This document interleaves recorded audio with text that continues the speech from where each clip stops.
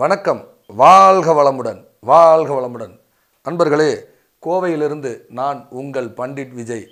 நிறைய ஜோதிடம் சார்ந்த சித்தாந்தங்களை பதிவிட்டு கொண்டு வருகிறோம். ஒவ்வொரு ராசிக்கும் ஒவ்வொரு விதமான அந்த ரெண்டாயிரத்தி பத்தொம்போது டிசம்பர் மாதத்தில் வரக்கூடிய சனி பகவானுடைய பயிற்சி. ஒவ்வொரு ராசி அன்பர்களுக்கும் எவ்வாறு எந்த இடங்களுக்கு போனால் அவங்களுக்கு நல்ல விதமான ஒரு சூழல் ஏற்படும் அப்படிங்கிறதுக்கான ஒரு பரிகார முறையை உங்களிடம் பதிவிடுகிறேன்.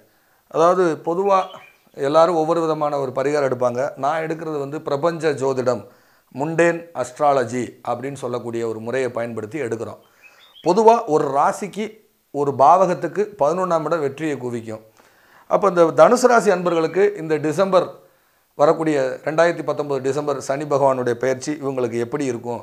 அப்படி இவங்களுக்கு எந்த இடத்துக்கு போனால் வெற்றி நிச்சயம் அப்படிங்கிறத நாம் இப்போ பார்க்க போகிறோம் இந்த துலாம் ராசி வந்து பார்த்திங்கன்னா நெல்லை மாவட்டம் விருதுநகர் மாவட்டம் அதெல்லாம் சொல்லக்கூடிய ஒரு ராசி மண்டலம்.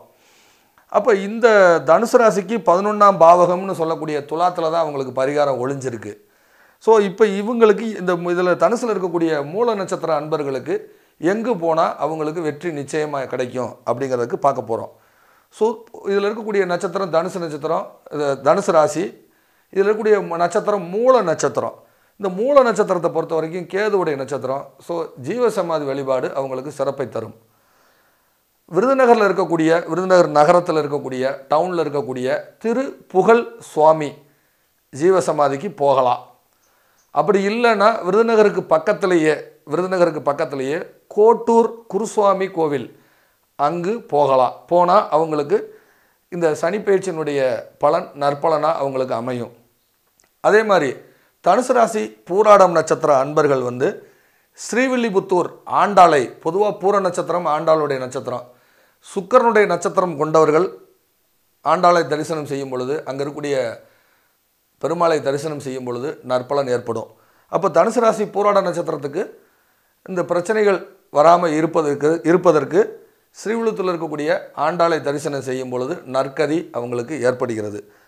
அதே மாதிரியே தனுசு ராசி உத்திராட நட்சத்திரத்தில் பிறந்தவங்களுக்கு வந்து சங்கரன் கோவில் சங்கரன் கோவிலில் இருக்கக்கூடிய சங்கரேஸ்வரர் அங்கே இருக்கக்கூடிய சங்கர நாராயணர் இவங்களை தரிசனம் செய்யும் பொழுது நற்பலன் ஏற்படுகிறது. பொதுவாக தனுசு ராசி வந்து காலபுருஷனுக்கு ஒன்பதாம் இடம் சித்தர்கள் வாழக்கூடிய பூமி அப்படின்னு சொல்லக்கூடிய வீடு. அதே சங்கரன் கோயிலில் இருக்கக்கூடிய வேலப்ப தேசிகர் அவருடைய ஜீவசமாதிக்கு போகும் பொழுதும் நற்பலன் ஏற்படுகிறது. மீன் இந்த மாதிரியான ஒரு பிரபஞ்ச ஜோதிடத்தை பயன்படுத்தி வெற்றி கண்டவர்கள் அதிகம். என்னுடைய இதுவும் என்னுடைய கலை அல்ல என்னுடைய குருமார்கள் கொடுத்த கலையை உங்களிடம் பதிவிடுகிறேன். இது ரொம்ப ரொம்ப இங்கே போய் நீங்கள் எந்த பூஜையும் புனஸ்காரம் செய்யணுங்கிறது அது உங்களுடைய இஷ்டம். ஆனால் இங்கே போனாலே மிகப்பெரிய வெற்றி நிச்சயம். இந்த சனி பகவானுடைய தாக்கம் உங்களுக்கு குறைவாக இருக்கும். நற்பலன் ஏற்படும். மீண்டும் நல்ல ஒரு ஆரோக்கியமான சூழலில் சந்திக்க விரும்பும் நான் உங்கள் பண்டிட் விஜய். வணக்கம். வாழ்க வளமுடன்.